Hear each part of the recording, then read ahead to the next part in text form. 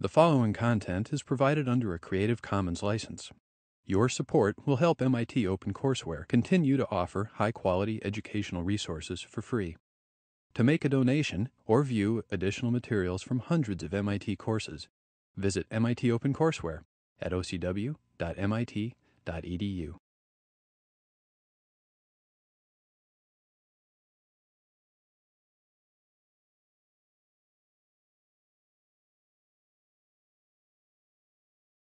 So this is a this is just one person's rendition of a golem. A golem is uh, sort of uh, the slave uh, Rabbi Loew and uh, of Prague, and it's a tale of uh, a an individual made out of clay, a a automaton made out of clay to carry out the, the duties, but it uh, gets out of control while the good rabbi is uh, at uh, shul, and uh, nobody knows how to stop the thing. So it's kind of running around amok, and this is a problem. And only only the rabbi knows how to shut it down. Um, and so uh, this is a kind of a, a, dominant metaphor for this book, is this, this concept of this, this mechanical entity that we create for our own uh, to improve our lives.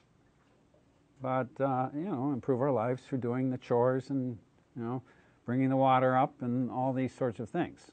But it's not as simple as just making a lot of these things and just hoping that, you know, they'll all go out and do, uh, or intending that they'll go out and do everything that we intend them to do, but nothing else. Because there are, uh, there are tremendous impacts through the use of mechanical devices and and not just mechanical in the sense of uh, the traditional sense of machine. As Laura says here, the, the concept of machine is changing. The processing of information is uh, a mechanical process. And so machines are beginning to be thought of, uh, or have long been thought of in Wiener's time, as uh, also devices which are electronic and primarily uh, working through electronic uh, uh, systems. Okay, so uh, this is a little essay uh, that he wrote. It's a very yeasty little book. It's got lots and lots of little topics in it. It's not meant as a uh, technical, although, as, as Laura said, there, there's some things in it that are conceptually a little more a little beyond the average readers. Uh, but the book itself is really just trying to talk a little bit about technology and the world that we're creating through it. And uh, Wiener was a deeply, uh, he was a thinking person who thought deeply about uh, a whole range of things. And uh, uh, he's a uh, a, a, key person in the creation of the field of cybernetics. Uh, his book, Cybernetics, uh, which is uh, uh, a the subtitle you can see control and communication in the animal and the machine. So the concept that we can transfer certain sorts of understandings we get from one location to another location is central here. And so we can learn. We can learn about mechanical devices by studying biological entities, and we can learn about biological entities by studying mechanical devices. And the notion of how organisms control themselves can tell us lots and lots of things about how mechanical devices uh, can be controlled and can also be self-regulating. So these are, these are areas that uh, are of, of, prime importance to him, and that's sort of in the background of his thinking here, is this whole question of uh, uh cybernetics and cybernetic control. Uh, so, uh, as Laura said, the, uh, he, he mentions it's a part of the scientists, uh, this is from page five, to entertain heretical and forbidden opinions experimentally. I mean, Wiener has a sense of humor, so some of this is, he, he, he says this, you know, uh, for impact, and he's also aware that, you know, it's, it's, there's, there's an element of humor behind this, but uh, the fact is that most people, as he says, when you say, how are machines and, and humans or organisms alike, just say, oh, you, you can't talk about these two. They just, you know, don't, they're entirely different uh, uh, realms, and any comparison is going to be superficial. And so, uh, and, and sometimes people make these statements on sort of religious grounds. And so that's why he says, uh, entertain heretical. Well, in science, uh, I mean, heresy doesn't really have a whole lot of meaning in science. If, if there's a theory to be considered, uh, then it, it should be considered. But uh, in, in traditional uh, religious frameworks, sometimes uh, uh, suggesting things such as evolution or the similarity between humans and machines uh, can be seen as a, a, heretical notion. And he says if we allow heresy to, di to dictate what we study, we're not going to get very far because you know we'll just have to take a lot off the table and say, oh, that's just you know it's heretical to consider that. So yes, Darwin, uh, Darwin's work by some uh, by some uh, thinkers was seen as heresy, or or uh, sort of irreligious and against uh, the whole concept of uh, religious. You, you remember Mea in Hume and what he said, you know, we should not consider these things. We shouldn't even be talking about these questions because it's, it's sacrilegious. We should simply accept that the Creator made the world and the world is a, is a wonderful, marvelous place. It's uh, mysterious how it came into existence and to begin to reason about it and to think about it and to believe that we can understand it uh, its origins and principles is pushing us into the realm of the Creator. And so um, that's Demea's point. Whereas you remember Cleanthes is, you know, we can do it uh, because these mechanical things that we find out about the, the universe, the world, are things that uh, simply prove the uh, glory of, of God because they're so complex and so beautiful and so intricate. So why not study the mechanical world in order to go from nature up to nature's God? And then finally we have Philo who sort of plays the devil's advocate and he says, well, as long as we're looking at this uh, beautiful, wonderful place, uh, let's note that it's not exactly as perfect as uh, Cleanthes thinks it is. Uh, things survive, yes, but just barely. And there's a great deal of suffering and a lot of catastrophes, and it's not all made in any sense uh, of, of the word perfection that everybody would agree on. Okay, so so that's the uh, that's kind of the entree into this work. He wants to Wiener wants to talk about humans and machines, and he wants to talk about some of the ways in which they're parallel, and to find ways in which we can learn from the two regimes by comparing them and studying them. So uh, that's his uh, that's his, his proposition. But he has a lot of warnings along the way. So this is not just to say, oh, machines are these wonderful devices, and the more we have, the, the better it is, and we should just continue uh, without worry. Uh, he's, he's actually looking at the other side and saying, well, yes, our machines are incredible creations, and they have made it possible for us to survive, but we have to be aware that they need they need to be controlled. We need to understand them. We have to understand their impacts. And we can't just expect to keep using them without thinking that uh, you know, there are going to be some costs. There are costs. and that's what he's. Uh, okay, so the three points, uh, as Laura uh, mentioned, uh, machines that learn, machines that reproduce themselves, the two concepts, and uh, machines that perform coordinately with man. These are his key points of uh, discussion. What does learning imply in the way we usually use the word? in terms of uh, mental activity. I mean, don't we normally think of learning as some kind of mental activity? Certainly in, in the case of the individual, don't we? I mean, you're learning, you're taking 1801 or 801 or 802 or whatever you're taking. Uh, I mean, your learning is up here, isn't it? So, what kind of stretch is it to say that, you know, there's this thing called phylogenetic learning?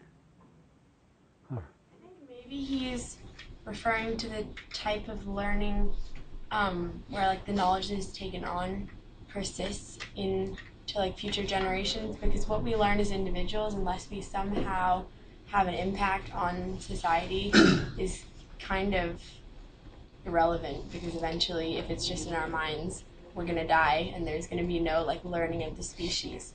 So it's what we learn as a species and what we communicate to others and it gets passed on, I guess, that he's talking about in the sense of like phylogenetic learning. Okay. Uh, there are a lot of parallels here that you're, you're bringing up. Uh, yes. Craig. Uh, well, I was going to say, like, in, like, in a phylum, there's not one, specific, one entity that's learning it's kind of taken as a whole class, kind of right. shifting towards the towards the new trend. And so it, there's not there's it's not like something's actually getting smarter. It's just through trial and error that okay. The mutations are working better. It, it sort of goes back to the ship metaphor. You know, somebody learned how to make a very complicated clipper ship that you know you can send out across the oceans and uh, go off to wherever. Uh, that learning process somehow got expressed in the physical object of the ship. The ship is a kind of a, a, treatise, if you will, of based on the learning of many, many different individuals that went into the creation of this, this very complex organism. Charles. Well, I think the learning that's that he's referring to here has more to do with the learning of babies than the learning that we do in school, like now. Like for babies, just getting to know the world, it's like they'll try something, and like that's where the parents' role is. Is like if they do something that's they're not supposed to do, then they get, I guess they may get punished, and then so they know by trial error mm-hmm. what not to do and what you can do. And so in terms of like a in terms of like a whole race or like a whole species, if you think about every single individual as a new idea, then you have all these new ideas that like they're just trying to figure their way around the world and whichever new ideas don't work hmm. don't get passed on and the new ideas that do work become like become like just knowledge right like you know it's right and hmm. then so you follow it's kind of like science like you try this it's not right you try this this is right then take my next step further, and the next step further in this sense would just be the, yeah. All right. Uh, any other? Yes, Devin.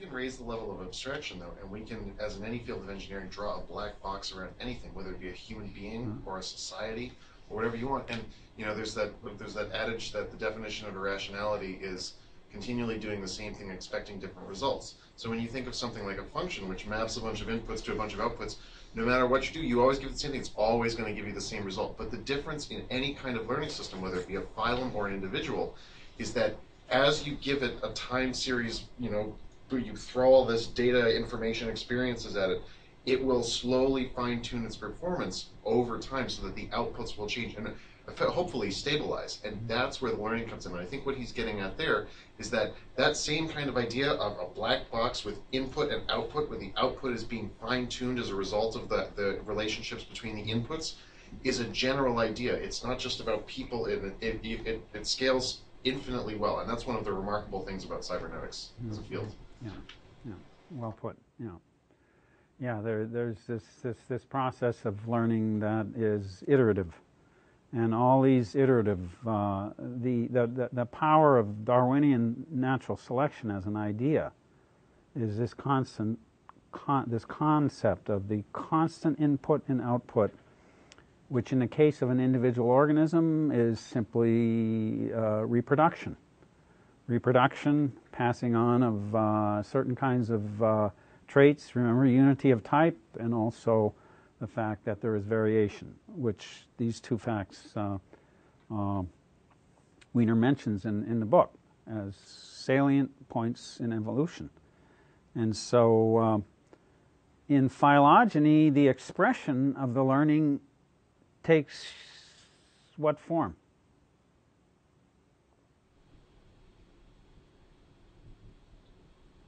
Well, physical features of the organism. I mean, the uh, the adaptability of, uh, say, an organ, an organism, in terms of the eye, eyesight. I mean, that's so when he when he's talking about phylogenetic learning, he's really talking about that that kind of process that delivers a a higher and higher functioning eye, and its interaction with the environment becomes uh, more and more refined. And so, it's a physical expression. Back to the ship, it's a, it's an expression of, of, of physical interaction with environment in a, a space, a niche. And higher, higher levels of performance there would be, in Wiener's terms, phylogenetic learning. This is what delivers these complex organisms that are adapted to their environments.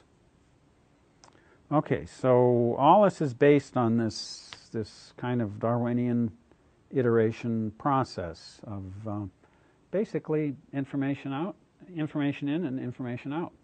Um, and a certain amount of change taking place. And the new entity that has inherited the information of the last, the parent entity, either functions better uh, or it doesn't. But uh, it's, it's basically going to be tested each generation is going to be tested for the ability to uh, survive. And so this is uh, a model that he's using for uh, machine learning too, when he talks about machine learning. And he talks about, as Laura mentioned, uh, in terms of tic-tac-toe, these little systems that uh, can be uh, played with a, with a, a computer and can actually be uh, uh, subject to improvement. They get better. And so there's a what he calls a criterion of merit that actually is a uh, element in the selection process.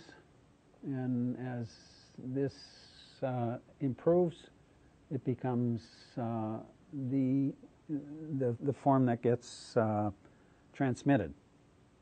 And so this, this sort of process is, uh, is, is key. All right, so all right, and he also brings up this question of uh, how different are, bio, are, are biological or organisms and uh, mechanical processes. And his, uh, one, of his, one of his major points is that um, at the level of reproduction, what is human reproduction? What is any kind of biological reproduction? It's, I mean, of course, he knows a lot more. You can see, you know, what's happened. Mendel has been there, you know, and, and you know, he's way down the line now here from Darwin. Uh, it's well known that uh, there's a whole process taking place here.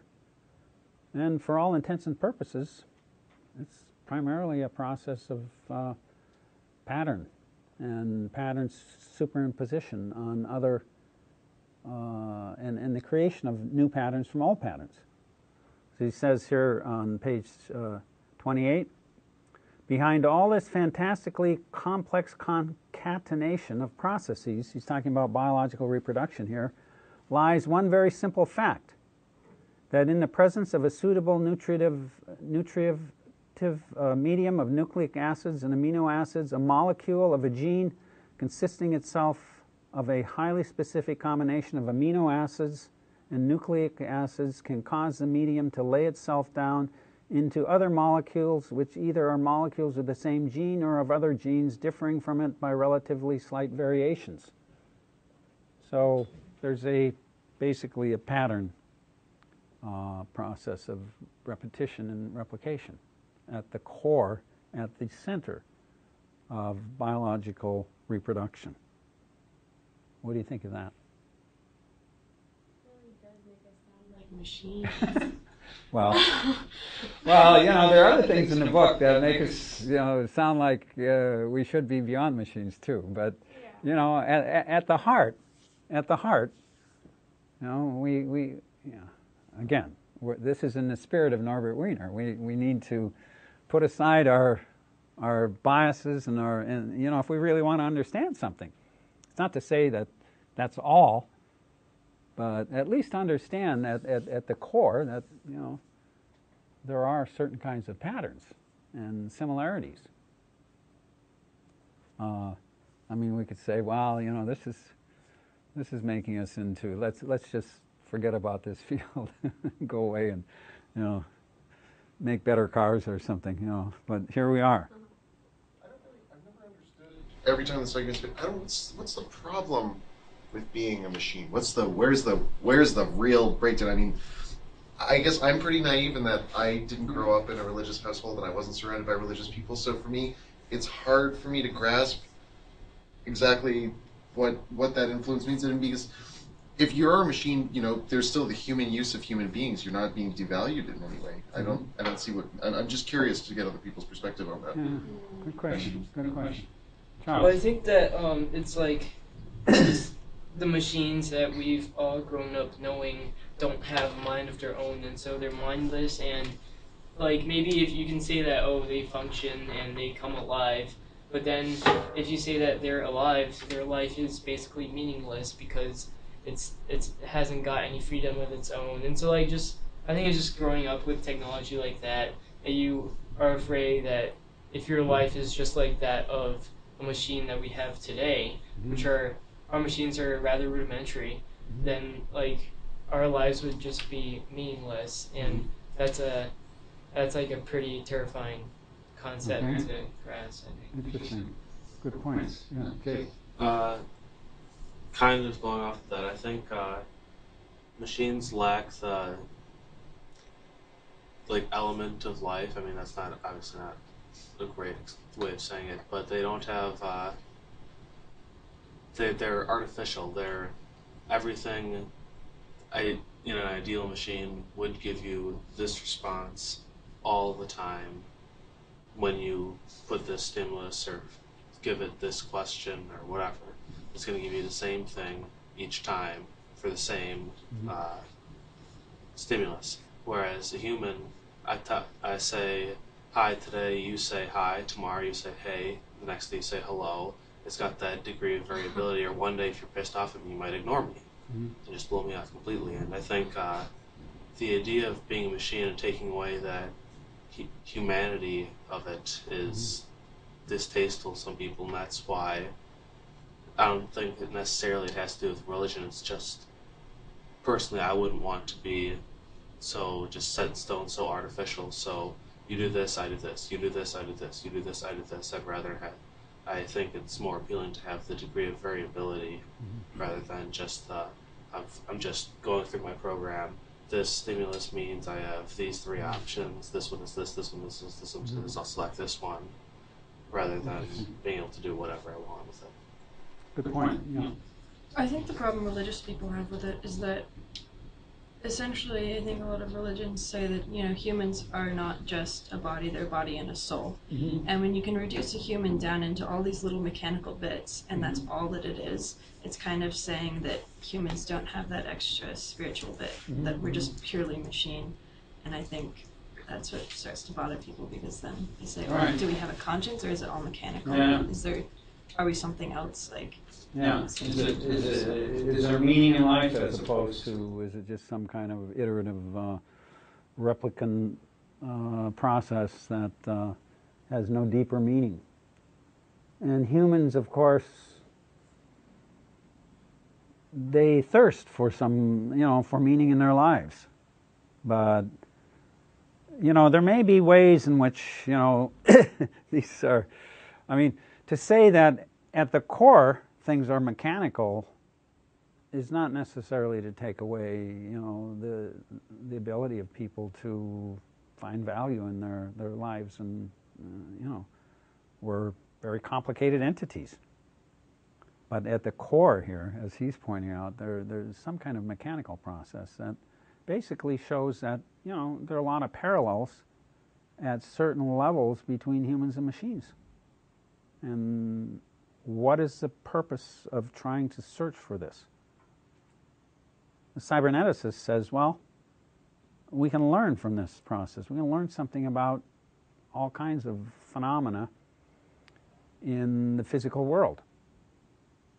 And we can learn things about humans too.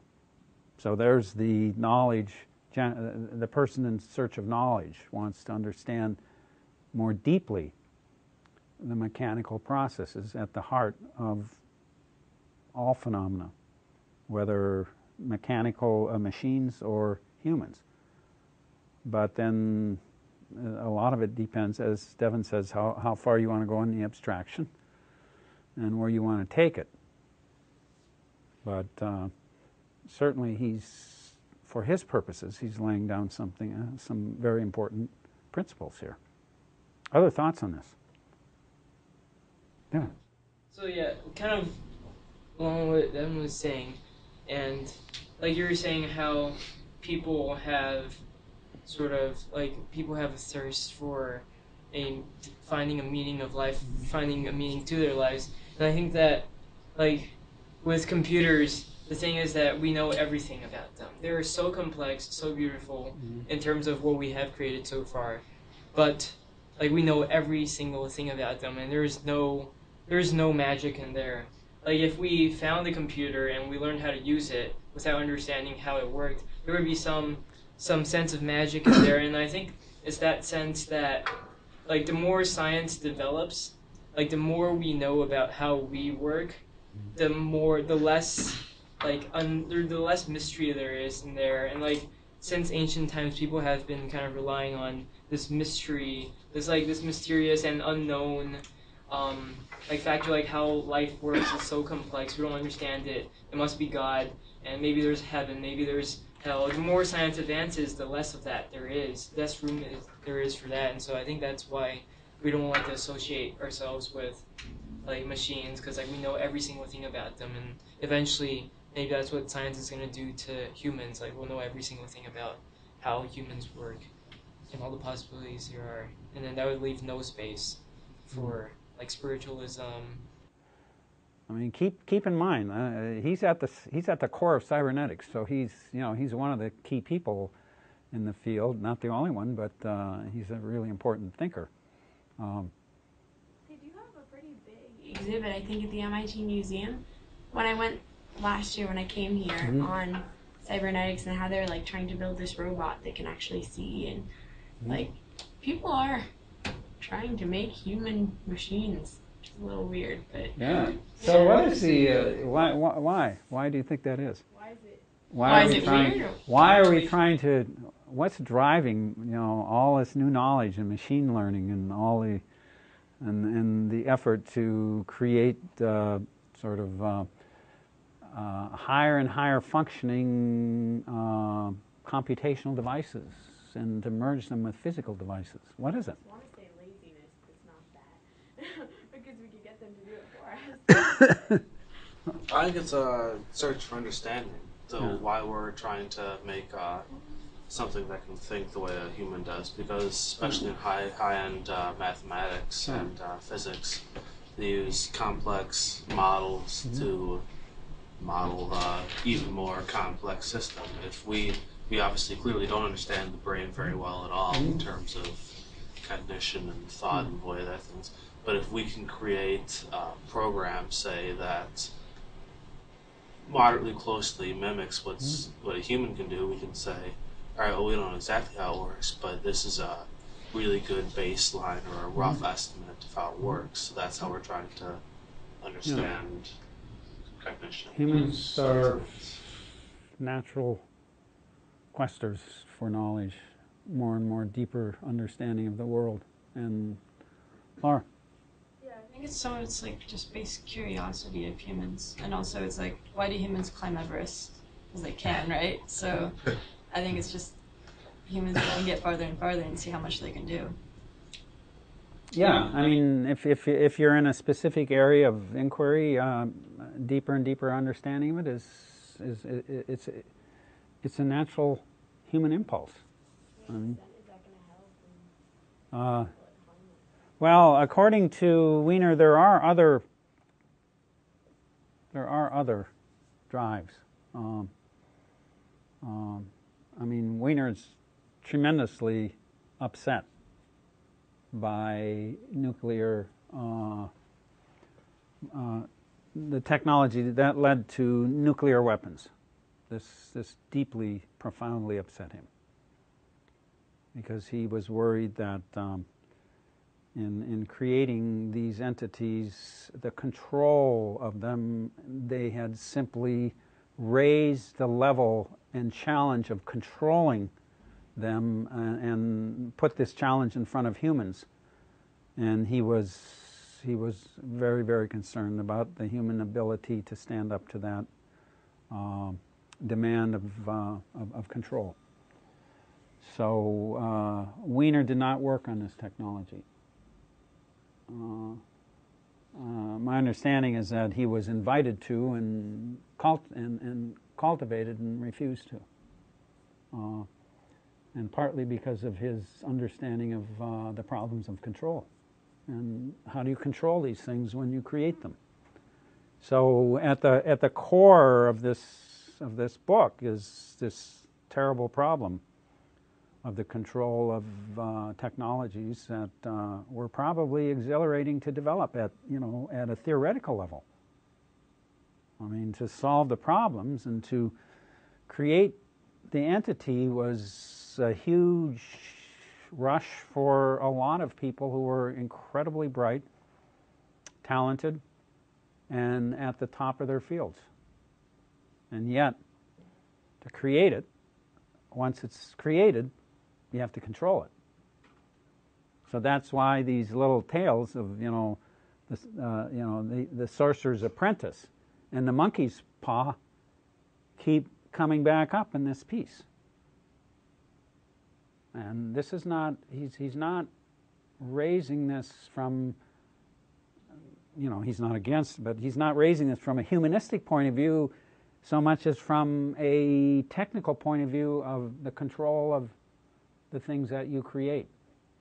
I mean, who thought that uh, at, at that time that, you know, we would be dealing with uh, a world of, uh, you know, proliferating uh, atomic uh, weaponry, uh, you know, almost 70 years later with, you know, this technology, you know, a lot of different people made use of it.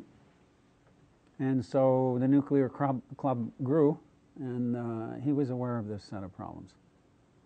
And, but this is not what people were thinking about when they were creating the original technology. So that's, that's, that's a deep problem. It's just, you know, what are the impacts? What are going to be the costs? I mean, other examples he brings up in the, in the book. Uh, I didn't, we didn't read the whole book, but later in the book, he, he brings up even things like healthcare.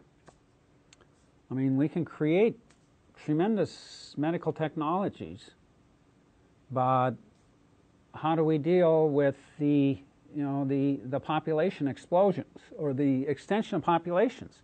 He's not saying we shouldn't do them, but what he is, he's, he's saying, you know, as you apply all these different technologies, you're going to have other, other problems that you're going to have to solve.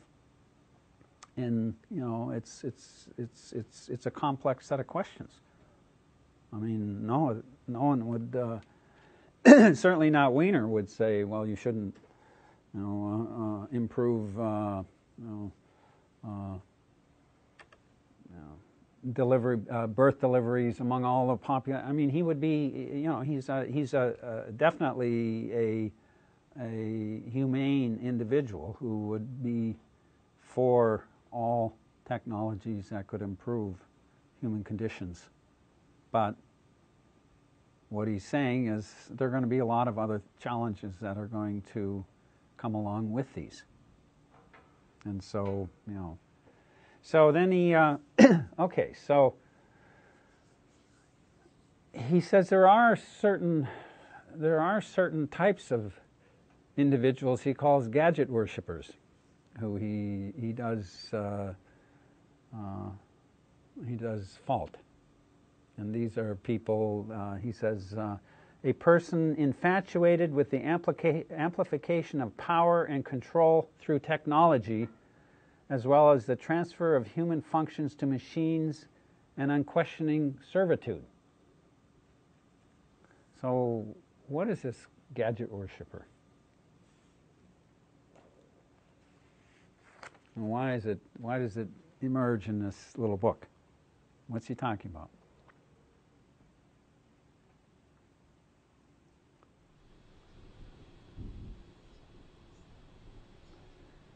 Well, certainly at, at a certain level, uh, the uses of technology to gain personal ends and to control other people. Um, and it's, it's, his, it's his argument that there are certain people who are attracted to this. Some people are attracted to, you know, power through the manipulation of, of uh, technology. And that these are people who are uh, a problem. Because uh, there is in, inherent in some kind of, uh, in, in some way in technology, this, this promise of control. And that's going to draw many different types of people. What one type he talks about as the gadget worshiper. He says on page 54 it is the desire to avoid the personal responsibility for a dangerous or disastrous decision by placing the responsibility elsewhere on chance, on human superiors and their policies, which one cannot question, or on a mechanical device which one cannot fully understand, but which is, has a presumed objectivity.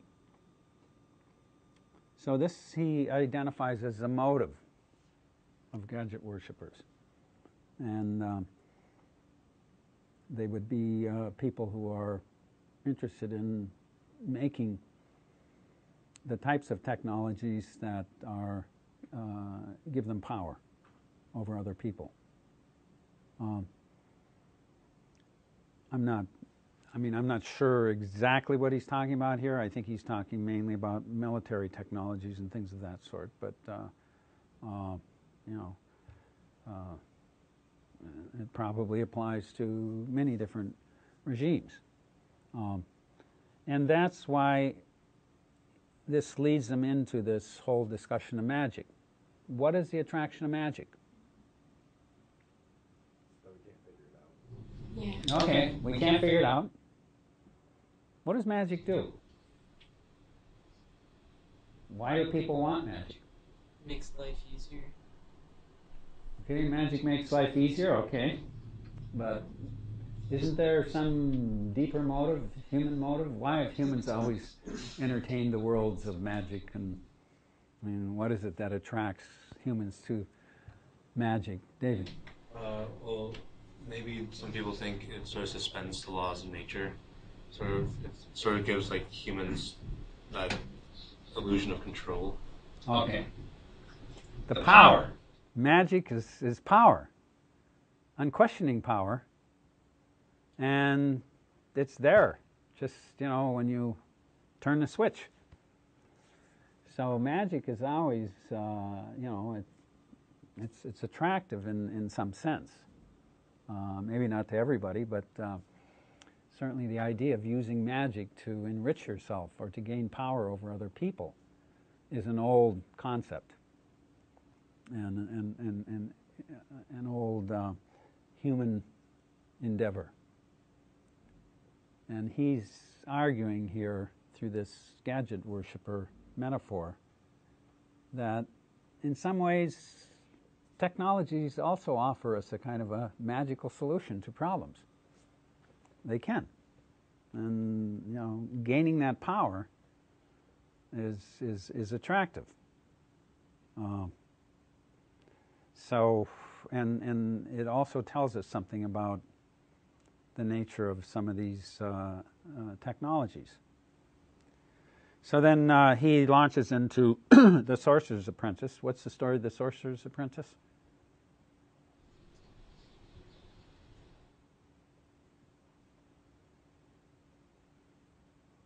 Chris, did you get that? This is the monkey's paw. Oh, the monkey's paw. What about, uh, he, he talks about the Sorcerer's Apprentice first. Uh, did anybody, you know the t- story, don't you? Yeah. Uh, I forget exactly what it, how that goes, but the the apprentice goes and you know is experimenting and makes some kind of disastrous mistake that goes running amok, and eventually the the, the sorcerer has to come back and kind of scold him, slap him across, and wheel everything back in. And right, is, Yeah. it, is that how it goes?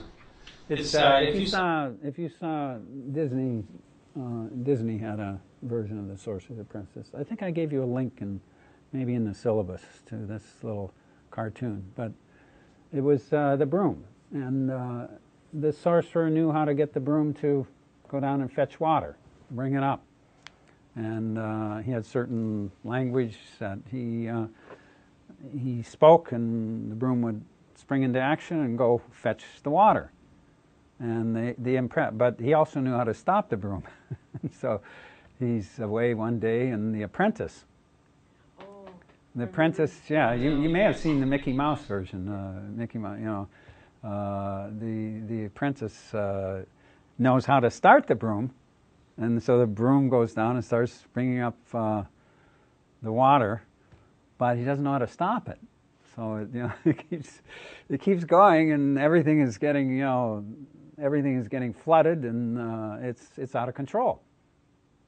So it goes back to that that old story of the golem, you know, the the thing that's out of control, and you know we know how to start it, but we don't quite know how to shut it down.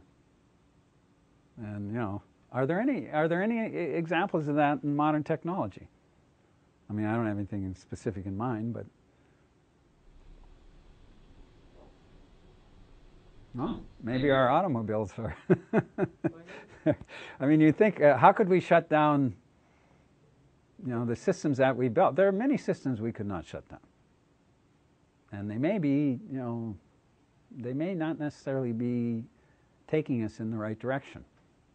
I mean, that's not to say that uh, we should uh, abandon them immediately or that they were the wrong things to create. But, you know, are there not areas that we've developed technologically that we now are beginning to wonder, you know, how long can this, you know, and, and how do we stop it? Well, it's not quite as easy as just shut it down, but, uh, you know, there are plenty of technological areas, yeah. Uh, that saying, uh, how do we stop it, made me think of uh, the cars, uh, the Toyota cars that wouldn't stop. Oh, right, right, the ones with Oh, the cruise yeah. control problem. When people try to stop them, and uh, I mean that's obviously not a really great example, but it Well, is an yeah, example yeah. of uh, technology. And all right, it's doing what we told it to, but now we don't. Yeah, can't somehow it we, yeah. Yes, we could manually open the engine and like start disconnecting things until it turns off, but Yeah. it's not really a reasonable option. Okay, The same way, if like a computer starts malfunction, we can unplug it. yeah. But I mean, what does that do for us? No. Yeah. So uh, I mean, again, this is a this is. I mean, he's trying to get people. He's not saying these you know technologies are. He's just trying to get people to think more deeply about what they're involved in, and not simply look at the surface, but to probe the deeper impact and meaning, and to also design when they do design to design more thoroughly so that you know possible problems are anticipated. Even so, it's unlikely that all the problems will be. Okay, so the monkey's paw, again, uh, the whole tale of uh, you know the. Uh, uh, so what is the uh, what is the monkey's paw? He says here on page fifty-eight. Um, in this tale, an English working family is sitting down to dinner in its kitchen. The son leaves to work at a fa- factory, and the old parents listen to the tales of their guest. A sergeant major back from service in the Indian Army. He tells them of Indian magic and shows them a dried monkey's paw, which he tells them is a talisman, which has been endowed by an Indian holy man with the virtue of giving three wishes to each of three successive owners.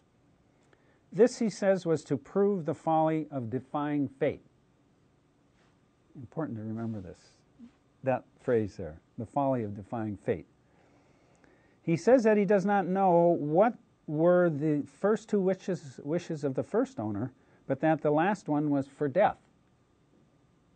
This should have told him something. He himself was the second owner, but his experiences were too terrible to relate. He is about to cast the paw on a coal fire when his host retrieves it, and despite all the sergeant major can do, wishes for 200 pounds. Shortly thereafter, there is a knock at the door. A very solemn gentleman is there from the company which has employed his son. As gently as he can, he breaks the news that the son has been killed in an accident at the factory. Without recognizing any responsibility in the matter, the company offers its sympathy and 200 pounds as a, as a uh, solatium, as a compensation. The parents are distracted, and at the mother's suggestion, they wish the son back again. By now it is dark without, a dark, windy night.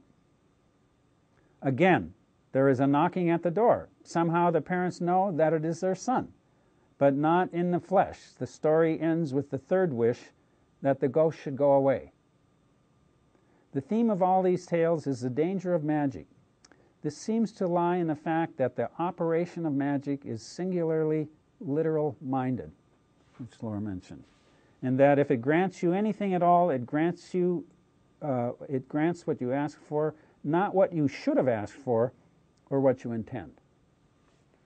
So this is his uh, tale, and he, you know, again, he's uh, using this to uh, to suggest that there are many things that uh, we we can develop, and uh, they may not be what we thought they would be.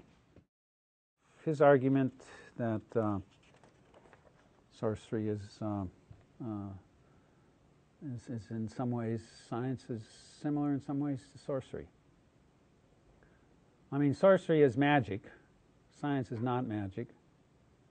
But there are certain kinds of power that are uh, delivered through the applications of science.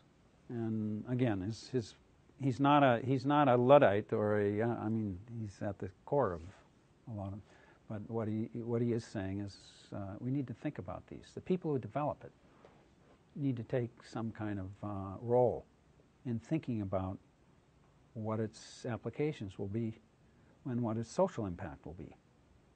Uh, they can't simply, they shouldn't simply be the technical people who say, well, it's somebody else's problem. I develop it, but you know, it's not my problem to control it. Uh, he, he, he's saying that this responsibility extends to the people who make it, who make the, make the technologies. So, so his, uh, I mean, his message is, is also deals with simply the fact that uh, automation you know, we are automizing everything. I mean, for many, many reasons. I mean, we interact now with all kinds of devices and all kinds of processes have been automated.